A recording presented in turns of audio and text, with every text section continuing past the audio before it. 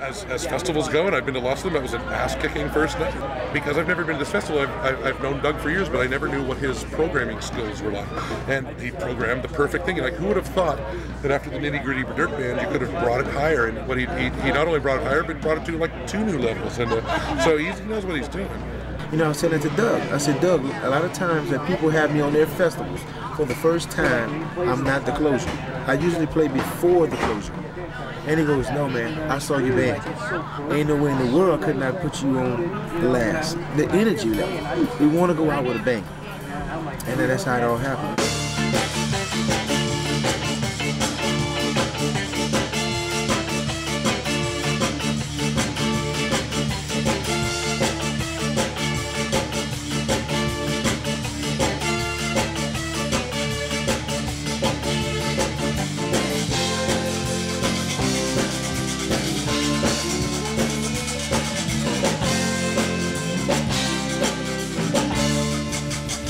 Thank you.